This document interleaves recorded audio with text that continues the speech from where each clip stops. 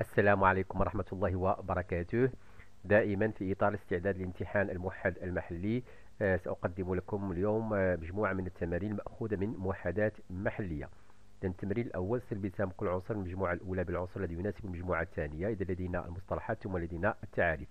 إذن ليباز كما تذكرون ذلك فهو أنزيم يحفز بطبيعة الحال تبسيط جزيئي للدهنيات الأنزيم كما ربما تبين لكم ذلك إذن عبارة عن مادة كيميائية تحفز التبسيط الجزيئي للأغذية. فيما يخص الخملة المعوية فبطبيعة الأمر يتعلق بالوحدة البنيوية لظاهرة امتصاص المعوي إذن الوحدة البنيوية الوظيفية التي تحدث على مستوى ظاهرة الامتصاص المعوي. فيما يخص اللعاب آه، فعلا هو عبارة عن عصارة هضمية تحتوي على أنزيم النشواز التبسيط الجزيئي بطبيعة الحال فهو تفاعل كيميائي يحول الجزيئات الكبيرة إلى جزيئات صغيرة. ننتقل الآن إلى التمرين الثاني إذن كما نلاحظ تمثل الوثيقة ألف رسم تخطيطي لأهم الأعضاء المتدخلة في وظائف الاقتيات إذا السؤال حدد رقم واحد حدد الوحدة المشارية البنيوية آه، والوظيفية لكل من المعي الدقيق الرئة والكلية. إذا فيما يخص المعي الدقيق الأمر يتعلق بالخمل المعوية الرئة الأسناخ الرئوية والكلية الأنبوب البولي. السؤال رقم اثنان حدد الخصائص المشتركة بين الأعضاء الثلاث التي تجعل من كل منهم مساحة تبادلات مهمة بين الوسطين الداخلي والخارجي. إذا الخصائص الثلاث وهي مساحة شاسعة بطبيعة الحال بفضل تلك البنية المجارية ثم وجود شبكة كثير من الشعار الدموي بالإضافة إلى أن الجدار الفاصل بطبيعة الحال بين الوسطين الداخلي والخارجي على مستوى هذه الوحدات بطبيعة الحال المجهرية والبنيوية والوظيفية يكون دقيق جدا يسمح بحدوث هذه التبادلات. السؤال رقم ثلاثة على مستوى هذه الوحدات البنيوية والوظيفية تحدث تبادلات كما أشرت بين الوسطين الداخلي والخارجي. حدد هذه التبادلات التي تحدث بالنسبة لكل وحدة بنيوية ووظيفية. إذن على مستوى الخملات المعوية فعلا تحدث يحدث امتصاص مواد القيد بحيث تمر مواد القيد من جوف المعي الدقيق في اتجاه الدم باستثناء الأحماض الدهنية وكذلك الفيتامينات الذوابة في الدهون التي تمر نحو آه، اللنف. فيما يخص بطبيعة الحال الأسناخ الرئوية على مستوى تحدث التبادلات غازية بين الهواء السنخي والدم يمر ثنائي الأكسجين من الهواء السنخي في اتجاه الدم ويمر ثنائي أكسيد الكربون من الدم في اتجاه الهواء السنخي. بطبيعة الحال آه هذه التبادلات تتم بفضل مبدأ انتشار الغازات والذي مفاده بطبيعة الحال أن الغازات تنتشر دائما من الحيز ذو الضغط المرتفع نحو الحيز ذو الضغط المنخفض. فيما على مستوى الأنابيب البولية هناك مرور الفضلات السامة البول والحمض البولي وكذلك الفائض من الماء والأملاح المدينية من الدم في اتجاه أو داخل بطبيعة الحال هذه الأنابيب البولية. ننتقل إلى التمرين الثالث. تمثل الرسوم أسفل مراحل الدورة القلبية. رقم واحد تسمي كل مرحلة من المراحل آه، الدورة القلبية الثلاث. إذا فيما يخص المرحلة الأولى بطبيعة الحال سوف آه، نلاحظ ما هي الأكثر وضوحا. إذا نلاحظ هنا بطبيعة الحال انقباض أو تقلص البطينين مع انغلاق الصميمات الأذي البطينية وانفتاح الصميمات الشرياني إذا الأمر يتعلق بالانقباض البطيني. هنا بطبيعة الحال المرحلة التالية وهي الانقباض الأذيني كما نلاحظ وتقلص الأذينتين مع انفتاح الصميمات الأذي بطينية وانغلاق آه، الصميمات الشرايينية وأخيرا بطبيعة الحال المرحلة الثالثة وهو الانبساط العام. السؤال رقم اثنان رتب هذه المراحل وسمي كل مرحلة. إذا تسمية قمنا بتسمية هذه المراحل فيما يخص الترتيب. لدينا المرحلة الأولى وهو الانقباض. الأذيني المرحلة الثانية الانقباض. البطيني المرحلة الثالثة الانبساط العام.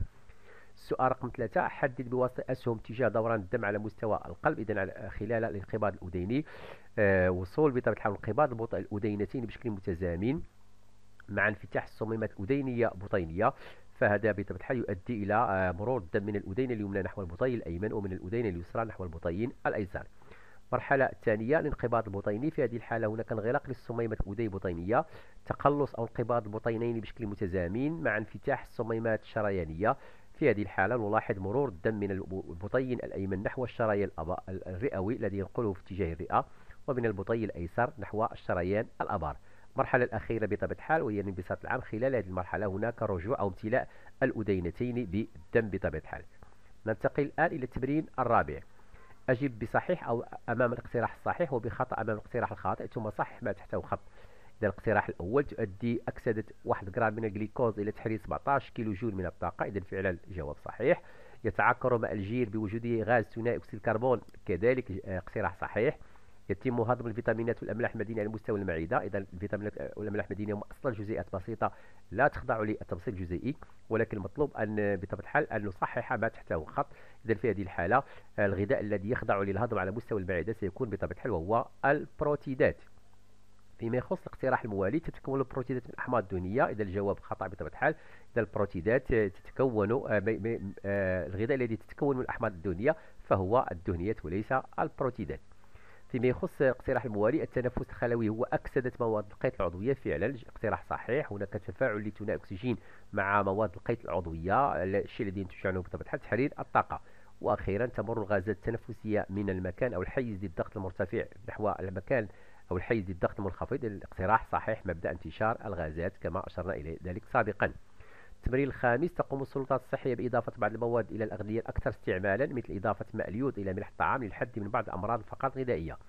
السؤال رقم واحد ما اسم المرض أو الفقر الغذائي الناتج عن نقص مادة اليود الأمر يتعلق بمرض التدرق أو ال goitre أذكر أعراض لهذا المرض. إذا انتفاخ الغدة الدرقية جحوظ العينين إجراءات وقائية بطبيعة الحال بكل بساطة تناول أغذية غنية باليود مثل فواكه البحر. التمرين السادس يبين المنحنى جانبه تطور تركيز الجليكوز في البول على طول البنية الكلوية وهو الأنبوب البولي في مواقع متتالية من المحفظة. الموقع رقم واحد إلى الأنبوب المجمع الموقع رقم خمسة. السؤال رقم واحد كيف يتغير تركيز الجليكوز على طول الأنبوب البولي؟ إذا كما نلاحظ المحور الأفقي يمثل لنا المواقع الخمسة كما أشرنا. الموقع رقم واحد انطلاقا من المحفظة. الموقع رقم خمسة بطبيعة الحال على مستوى الأنبوب المجمع. المحور العمودي يمثل لنا بطبيعة الحال تركيز الجليكوز بالجرام في اللتر إذا المنحنى تطور تركيز الجليكوز داخل بطبيعة الحال الأنبوب البولي. إذا المطلوب في السؤال رقم واحد كما أشرت كيف يتغير تركيز الجليكوز على طول الأنبوب البولي؟ إذا على مستوى الموقع رقم واحد كما نلاحظ كان تركيزه مرتفعا 0.8 جرام في اللتر أما في الموقع رقم أربعة فنلاحظ على أنه بطبيعة الحال أصبح تركيز أبقى اختفى بطبيعة الحال تركيزه في هذه الحالة 0 جرام في اللتر إذا هنا تناقص لتركيز بطبيعة الحال الجليكوز داخل الأنبوب البولي إذا تناقص تركيز الجليكوز إلى صفر في الموقع رقم 4 إذا وصل 0 جرام في اللتر في الموقع 4 آه، انطلاقا من 0.8 جرام في اللتر على مستوى المحفظة. السؤال رقم اثنان رغم وجود جليكوز في الأنبوب البولي فإنه ليس من المكونات العادية للبول. بماذا تفسر ذلك؟ إذا في هذه الحالة بطبيعة الحال ماذا يحدث؟ هناك ظاهرة إعادة امتصاص الجليكوز 100% السؤال رقم ثلاثة. ماذا يدل على ماذا يدل وجود البول عند آه، وجود الجليكوز ضمن مكونات البول عند بعض الأشخاص؟ في هذه الحالة الأمر يتعلق بالإصابة بمرض السكري للتذكير فقط. بطبيعة الحال فإن عتبة إفراز الجليكوز وهي 1.7 جرام في اللتر إذا عندما يتجاوز هذه هذا التركيز آه، في الدم بطبيعة الحال نجده ضمن مكونات البول. شكرا على انتباهكم وإلى موضوع آخر إن شاء الله.